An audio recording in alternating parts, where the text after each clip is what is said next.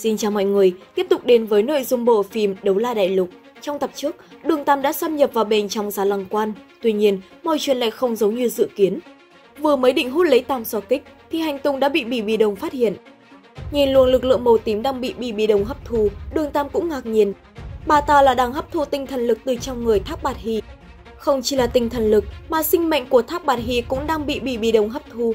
Lão ta đây là đang bị thao túng, e là đã trúng phải loại hồn kỹ khống chế tinh thần giống như năm đó vũ hồn đế quốc dùng để đối phó với đệ đệ xương vô song của xương vô địch. Rất nhanh sau đó, đường Tam cũng triệt để bị bao vây bốn phía, nếu như không có thần kích thì đúng là kèo này khó để thoát thần.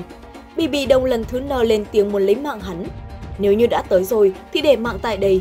Lời vừa mới dứt, đám người phong kiếm tông liền hợp lực kết trận. Thực lực bọn chúng tuy không quá cao nhưng số lượng đệ tử lại nhiều, chỉ riêng lấy thịt đè người cũng đủ để khiến hắn chật vật.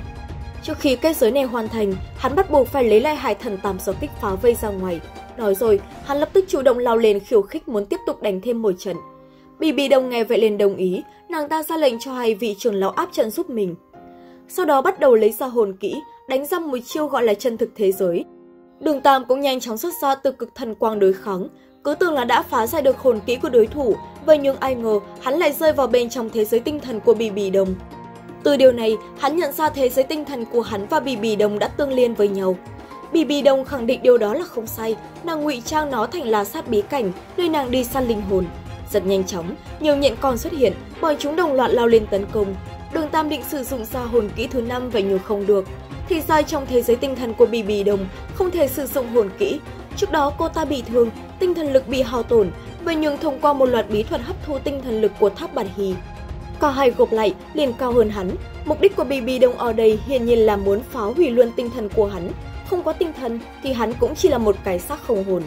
Bây giờ cách biệt thực lực đã quá lớn, cứ tiếp tục như vậy, e rằng tinh thần của hắn sẽ hỏng hơn cả thân thể.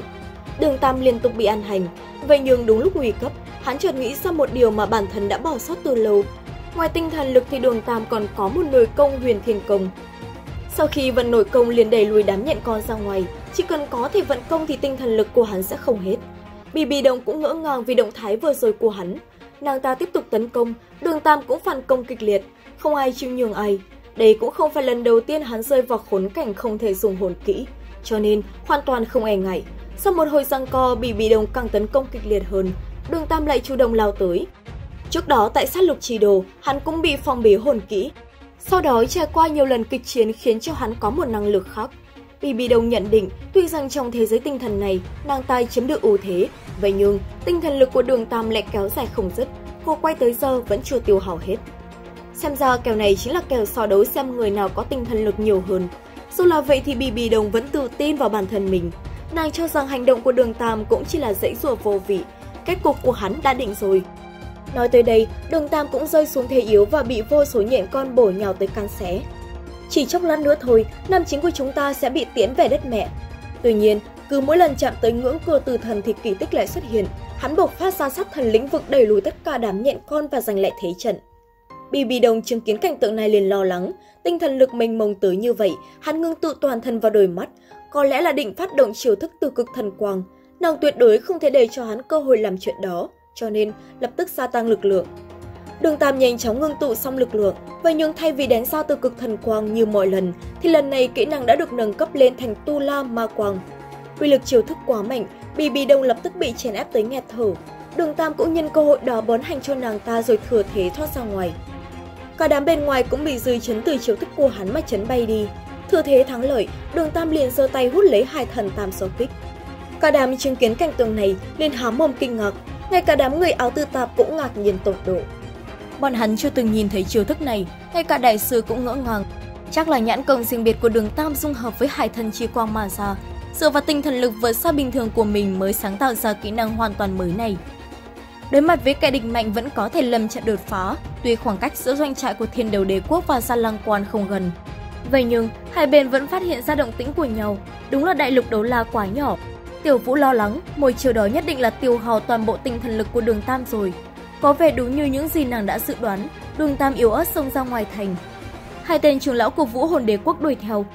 Đám binh lính cũng nhanh chóng bày bình bố trận nhằm thể hiện một chút tác dụng, vậy nhưng cuối cùng thì cũng chỉ làm màu mà thôi. Chu kịp thể hiện thì đã bị nam chính triệu hồi ánh sáng hải thần làm cho chói mắt. Rất nhanh sau đó, đám người trong sử lấy khác thất quái cũng xuất hiện. Bọn họ lập tức lấy ra vũ hồn uy hiếp khiến cho phe địch hoảng sợ.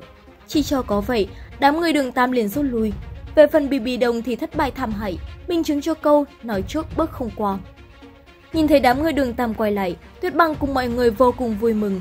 Đám binh lính cũng nhiệt liệt hoan hô, đường Tam chắp tay cảm ơn rồi ngã xuống bất tỉnh nhân sự. Trong thời gian đó, mọi người vô cùng lo lắng. Áo tư tạp vì không bảo vệ tốt cho Vinh Vinh nên cũng lên tiếng.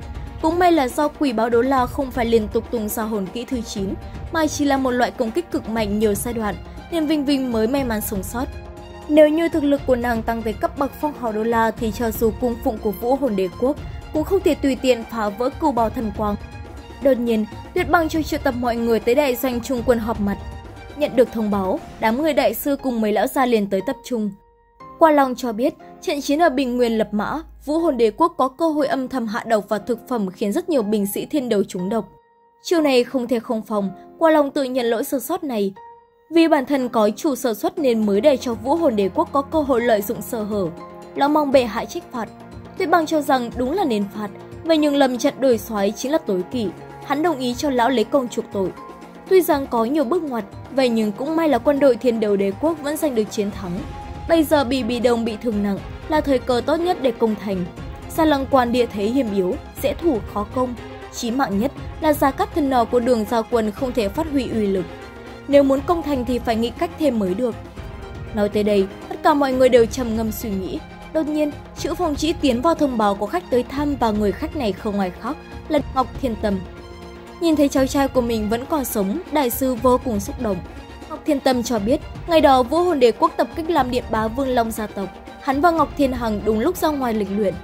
Đến khi hai người trở về tông môn thì mới phát hiện toàn bộ tộc nhân đều đã về đất mẹ.